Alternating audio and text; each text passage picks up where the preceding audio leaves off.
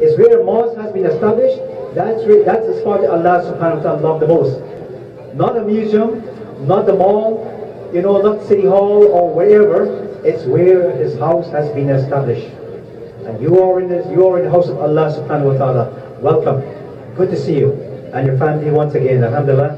And one thing, there's something very outstanding about all of you, with all of you, is that when you come here at IMO, you always come with a smile. You always come with a smile, and that's a good reflection.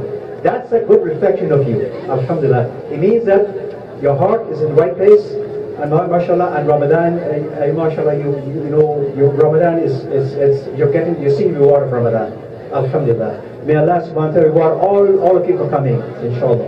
So today, inshallah, we'll continue what we normally does, especially on weekends, is that we'll give you some reminders, inshallah, especially uh, during this time, you know. So we ask you to please uh, give our guest speaker here, who is uh, uh, Sheikh Mohammed, and uh, he, he led us in Tarawih Salah always every night. So we, I encourage you to please give him an undivided attention. I know um, we have sometimes we don't see each other for a long time, and when we come to the mosque, that's when we make up. We try to make up with our conversation, greet each other, and carry on some unnecessary, you know, topics. We're investing ibadah, the worship of Allah subhanahu wa ta'ala. But every one of us, we know when we invest in something, we need to keep it. If we make a lot of money, you have to know how to keep that money. You don't want to waste it. It is very hard when you invest. Now, we're investing a lot of ibadah. We're fasting the whole day. We're standing for tarawih. We're donating. We're giving sadaqah. We're making adhkar, all this. How can we keep this ibadah? We can lose it eas- easily. One of the brothers, I don't want to mention his name, he reminded me to talk about this. He said, these days a lot of people are getting mad. It is in the month of Ramadan. We still, we're supposed to be otherwise. We're supposed to be very humble, very forgiving, very kind. You know, very happy. But a lot of people, they are easily getting mad. They get, or they will, they will go into fight. So he said, please talk about this subject. My brothers and sisters, Jazakum Allah khairan now for your attention. May Allah subhanahu wa ta'ala reward you. I see everybody now is listening. I want you to listen to hadith of Rabbi Muhammad sallallahu alayhi wa sallam. I'm not saying from my, from my head. I'm not just saying from, you know, from what I like. It's just that the Prophet sallallahu alayhi wa sallam's hadith. The Prophet sallallahu alayhi wa sallam, he said, من لم يدع قول الزور والعمل به والجهل فليس لله حاجة أن يدع طعامه وشرابه Whoever don't abandon or never abandon قول الزور قول الزور is every kind of words that Allah subhanahu wa ta'ala dislikes. Every word or any kind of word that are of offensive and offends the others or harmful to others, if you don't stay away from it in the month of Ramadan. And also jahl, quarreling, fighting, backbiting. If you don't stay away from this, then there is no way for you to stay away from food and drink in the month of Ramadan. So this hadith is telling us when we are fasting, we need to fear Allah subhanahu wa ta'ala and become very humble.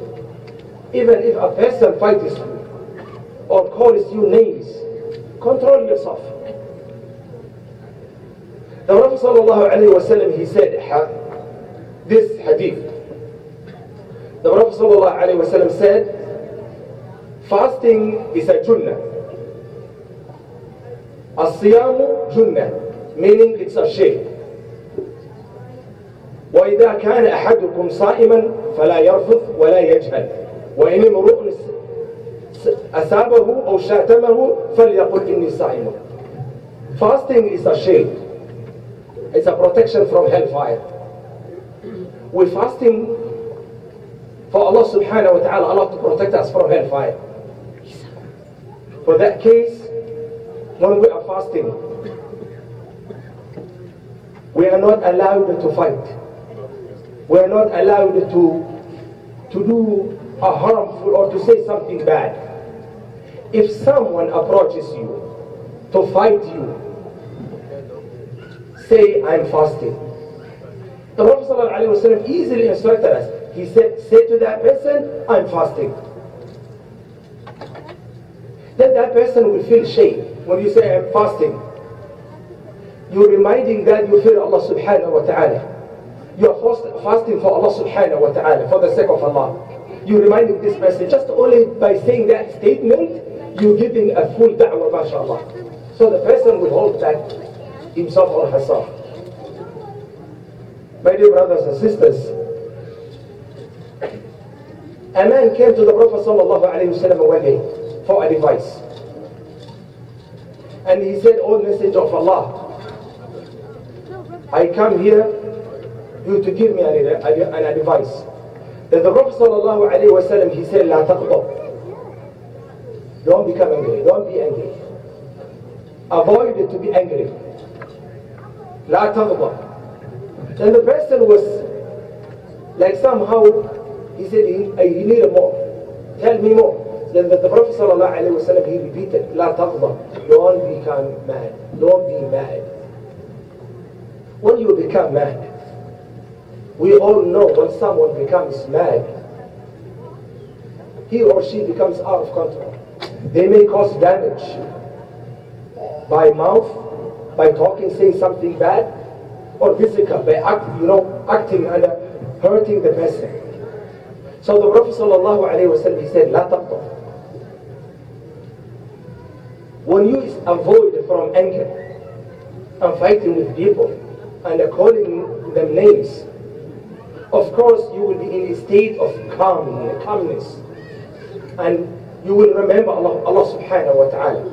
But when you become mad, you're going to lose all those. You may say haram things. You may start cursing people or harming them. So in this month of, of Ramadan, we need to protect our investment, which is the Ramadan. My dear brothers and sisters, we are human beings, we are insan. Sometimes we become mad. Nobody can avoid becoming mad. Sometimes I become mad. But the Prophet ﷺ, he gave us tips to control our anger. Number one, when one of us becomes mad, the Prophet ﷺ, he said, do this, the first step. Say, أعوذ بالله من الشيطان الرجيم. Every one of us knows that word. We know that. We know أعوذ بالله من الشيطان الرجيم. It's not hard. It's very simple. You say أعوذ بالله من الشيطان الرجيم. There was an incident at the time of Prophet Muhammad sallallahu alayhi wasallam. That was the presence of Prophet Muhammad sallallahu alayhi wasallam. He saw two men yelling at each other and cursing each other. And their face changed. One of them especially, his face changed, become red. His eyes was bumping up. And also his throat, like. Then the Prophet ﷺ, he said, I know something. If this both men said, their anger will go away. What it is? Very simple. The Prophet ﷺ said, أعوذ بالله من الشيطان الرجيم. If they say that, anger it came from shaitan. And you know shaitan, he want to cause. He want you to commit crime and a disobedience of Allah subhanahu wa ta'ala. So the first thing when you become mad, don't make the case worse. Don't let shaitan to show you that you are the strongest, you are the toughest, and you can exercise. Just remember that you are a human being, very simple, maskeen. أعوذ بالله من الشيطان الرجيم. If it doesn't work for you, there is another step to control your anger. That's a sukut, to become white. to be silent. Don't open your mouth. The Prophet sallallahu alayhi wa sallam, he said in the hadith, إِذَا غَضَبَ أَحَدُكُمْ فَلْيَسْكُتْ If one of you becomes mad, let them become, quiet. Many brothers and sisters, if someone insults you or makes you mad and you become quiet, it doesn't make that, it doesn't make you that you're scared. No. Wallahi, you are the strongest. You are the best.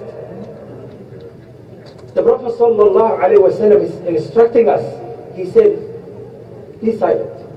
Don't open your mouth if someone makes you mad, if you become mad. Because when you become mad and you open your mouth, not good things will come out from you, from your mouth. So you be silent. If that doesn't work for you, there is another step the Prophet also instructed us, a third one. As-sukun. What is this? The Prophet ﷺ said, إذا غضب أحدكم وهو قائم فليجلس فإن ذهب عليه عنه الغضب وإلا فليضجع The Prophet ﷺ he said, if one of you becomes mad while you standing, sit down. Sit down. Okay? That doesn't work, still you're mad, lie down. Go to sleep. Imagine the, the person who made you mad, who's in front of you, when he sees you sitting down, or when she sees you sitting down, what are they to do? They may to sit down too. What about if you lie down? Even better. See the Prophet sallallahu alayhi wa sallam, how he instructed us? Sallallahu alayhi wa sallam. There is another step is that the Prophet sallallahu alayhi wa sallam, he instructed us. Number four, حفظ وصية رسول الله صلى الله عليه وسلم عن أبي هريرة رضي الله عنه أن رجلا قال للنبي صلى الله عليه وسلم أوصني The one I mentioned at the beginning, when you become mad, remember the advice of Prophet Muhammad صلى الله عليه وسلم. when you become mad, when you become angry. Remember the, the advice of our Rasul sallallahu alayhi Wasallam. What he said, don't become angry. So when you see just your anger is building up, remember the, the, the advice of our Rasul sallallahu alayhi Wasallam. It will help you. Number five, remember the great reward that you will get it from Allah subhanahu wa ta'ala if you control your anger. The Prophet sallallahu alayhi wasallam said,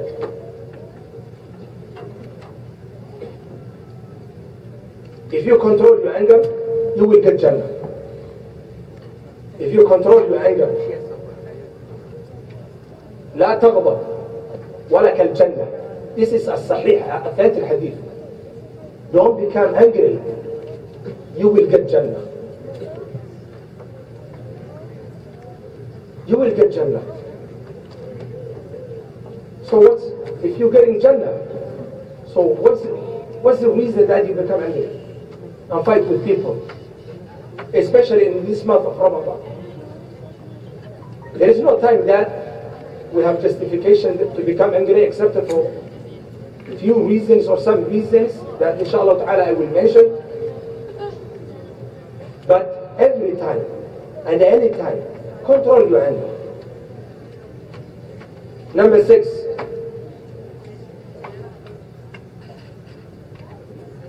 remember that what Allah subhanahu wa ta'ala promised the person who controls his anger, his, his anger. Allah Rasulullah sallallahu alayhi wa sallam. Or the Prophet sallallahu alayhi wa sallam, he talked about in controlling the anger is the most powerful thing.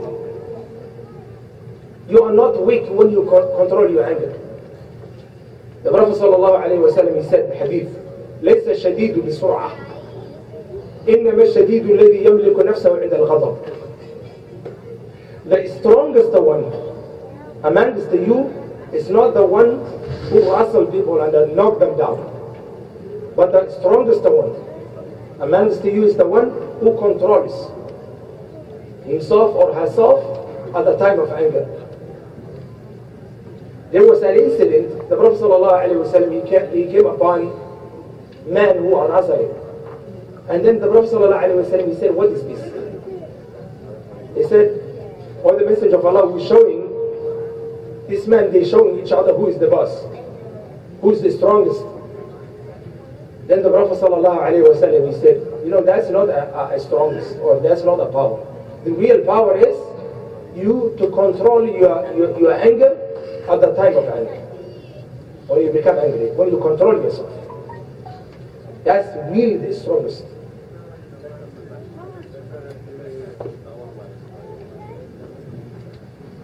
At the time of Umar bin Khattab radiallahu anhu, one day, he was the Amir al-Mu'mineen. And then a man came and he asked to enter to Umar in his office. He was given a permission to enter. And then when he when he met Umar bin Khattab radiallahu anhu, he said, O the Amir al-Mu'mineen, you are not a just. You are not a just ruler.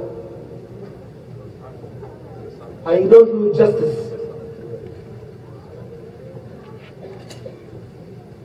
And you're not giving us our rights. He just started insulting. So Umar bin Khattab radiallahu anhu, he gets so mad. And Umar, he was very tough. He tried to discipline him. Then one of the one of the people who are sitting with him, his advisors, he said, Oh Umar, Allah subhanahu wa ta'ala. And he reminded him an ayah from the Quran. An ayah of the Quran. وَالْكَاظِمِينَ الْغَيْظِ وَالْعَافِينَ عَنِ النَّاسِ وَاللَّهُ يُحِبُّ الْمُحْسِنِينَ For those who hide their anger, for those who forgive the people, they hide their anger. When they become angry, they hide. وَالْعَافِينَ عَنِ النَّاسِ They forgive people. وَاللَّهُ يُحِبُّ الْمُحْسِنِينَ Allah subhanahu wa ta'ala loves those who are muhsinin. Umar bin Khattab just stopped. خلاص So in this month of Ramadan, my dear brothers and sisters, we need to control ourselves. The other thing that reminds us or help us to control our anger, Allah subhanahu wa ta'ala who created us. How many times we disobey Allah subhanahu wa ta'ala? Allah subhanahu wa ta'ala said in the Quran, if Allah subhanahu wa ta'ala punishes you any kind of sin that you do, there will be no human being will living on earth. Allah will wipe us out. We will destroy us. We, dis- we disobey Allah subhanahu wa ta'ala day and night. Allah subhanahu wa ta'ala is so patient with us. So remember Allah subhanahu wa ta'ala. How many times you disobey Allah subhanahu wa ta'ala? How many times you make angry Allah subhanahu wa ta'ala? And Allah is keep forgiving you. Still Allah subhanahu wa ta'ala giving you provision. Allah subhanahu wa ta'ala giving you help. Allah subhanahu wa ta'ala giving you rizq. So remember Allah subhanahu wa ta'ala.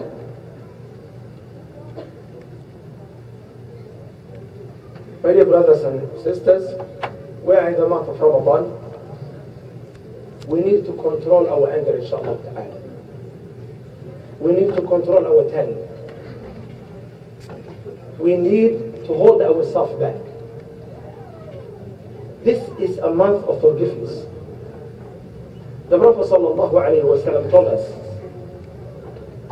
every Monday and every Thursday, the deeds of the servants are raised to Allah subhanahu wa ta'ala. If two people have shahna, if they have ill feeling to each other, Allah subhanahu wa ta'ala will say, okay, put their case back. until they fix it themselves, until they forgive each other. In this month of Ramadan, there may, may be a people who have ill feeling to each other. This is the, a month of forgiveness. Allah subhanahu wa ta'ala said in the Quran, فَعْفُوا وَاصْفَحُوا Forgive each other. أَلَا تُحِبُّونَ أَن يَغْفِرَ اللَّهُ لَكُمْ Don't you love that Allah subhanahu wa ta'ala forgives you? Of course, we, we, we, every day we ask, and every time we ask Allah subhanahu wa ta'ala to forgive us. How Allah subhanahu wa ta'ala will forgive you When you don't forgive His creation, His servants. When you don't forgive them, how Allah subhanahu wa ta'ala will forgive you? Sometimes I wonder at two people, like they have a problem in between them. And then you approach them, you try to make a sulh, a peace in between them, to forgive each other. And this person said, I will never forgive this person until the day of judgment. I'm going to go to Allah. Who gave you the guarantee that you will be, your case will be, you the winner? Maybe it's going to be other way around. You will see a Muslim, another Muslim says, I'm not going to give salam to this person. The person will come and say, Assalamu alaikum brother, Assalamu alaikum sister, and you turn around. Why? No, I'm not going to give. I'm not going to accept the his salam. But salam from Allah subhanahu wa ta'ala. It's not yours. Allah subhanahu wa ta'ala said, وَإِذَا حُيِّيتُم بِتَحِيَّةٍ فَحَيُّوا بِأَحْسَنَ مِنْهَا أَوْ مِدُّوهَا If you are give, given peace, salamu alaykum. Someone says to you, salamu alaykum. Allah subhanahu wa ta'ala said, respond to that person at least the minimum to what he said to you. If he says to you or she says to you, Assalamu alaikum, minimum say, alaikum salam. Or فَحَيُّوا بِأَحْسَنَ مِنْهَا أو ردوها. Or say better than what their salam given their salam. How? You say, when the person says, Assalamu alaikum, say, Wa alaikum salam wa rahmatullahi wa barakatuh. The Prophet sallallahu if you say Assalamu alaikum, he told us, you will get 10 hasanat. Assalamu alaikum only to a person. But when you say Assalamu alaikum wa rahmatullah, you will get 20 hasanat. And when you say Assalamu alaikum wa rahmatullahi wa barakatuh, you will get 30 hasanat, 30 ajr. And we are all here to collect as much as we can of good deeds and hasanat. So when someone says to you Assalamu alaikum, say wa alaykum salam wa rahmatullahi wa barakatuh. You get 30 and he has or she has 10 only. Allahu Akbar. Also the Prophet sallallahu alayhi wa sallam, he told us if there are two people have a problem in between them, the one who starts the salam first will get the reward. Even if you don't want to co continue with the conversation and uh, you say maybe the, the problem will, will, will, will, will arise, just to say salam only. Assalamu alaikum wa rahmatullahi wa barakatuh. Because this is the rights of the Muslims.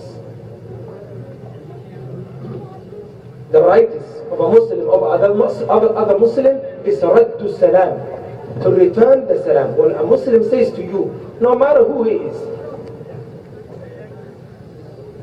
say salam. Return the salam. The Prophet sallam, he said in hadith, ألا أدلكم بشيء إذا فعلتموه تحاببتم Afshu salama bainakum. Shall I teach you or tell you something? If you do, you love each other and you care each other. Then the, the, the Sahaba they said, Yes, O the message of Allah, tell us what it is. Then the Prophet وسلم said, Afshu salama baynakum. Say as salam to each other. Whoever you know and whoever you don't. As long, as long as you recognize this person, mashallah, is a Muslim, no matter where they come from. Doesn't matter if they, if they speak same language. Say assalamu alaikum.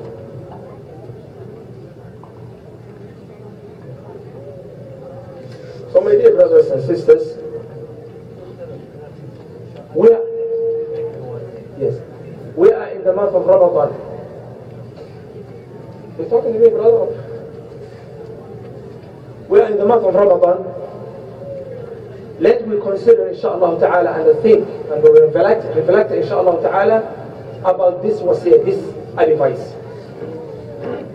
Let me forgive each other, inshallah ta'ala, so that Allah subhanahu wa ta'ala will forgive us.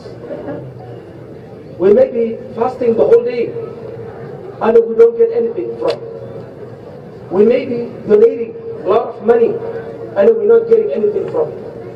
We may be reciting a lot of Quran, and we're not getting from anything of it.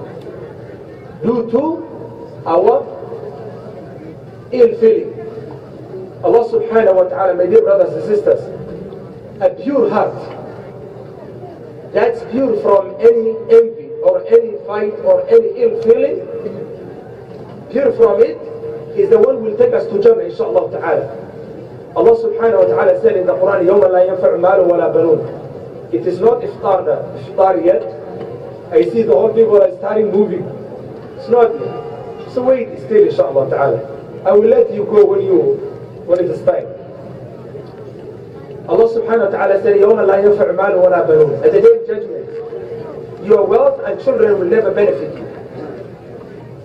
Your fame is not going to benefit you. What will benefit you is your pure heart. يوم لا ينفع مال ولا بنون إلا من أتى الله بقلب سليم. The only who will be successful and will be safe at the day of judgment are those who come with a pure heart, without any ill feeling at the day of judgment. Let me work on our heart, inshallah ta'ala, in this blessed month. Jazakum Allahu khairan, and thank you very much. May Allah subhanahu wa ta'ala reward you for your listening. I, I make dua, inshallah ta'ala, Allah subhanahu wa ta'ala to accept from us our fasting. الحمد لله وحده والصلاة والسلام على من لا نبي بعده ربنا آتنا في الدنيا حسنة وفي الآخرة حسنة وقنا عذاب النار ربنا هب لنا من أزواجنا وذرياتنا قرة أعين واجعلنا للمتقين إماما اللهم أعز الإسلام والمسلمين وأذل الشرك والمشركين والكفر والكافرين ودمر أعداءك أعداء الدين ربنا تقبل منا إنك أنت السميع العليم وتب علينا يا مولانا إنك أنت التواب الرحيم.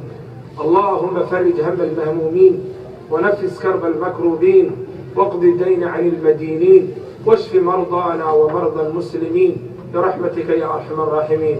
اللهم تقبل صيامنا اللهم تقبل صيامنا اللهم تقبل صيامنا اللهم تقبل صيامنا ودعاءنا برحمتك يا أرحم الراحمين. برحمتك يا أرحم الراحمين وصلى الله وسلم على نبينا محمد وعلى آله وصحبه وسلم.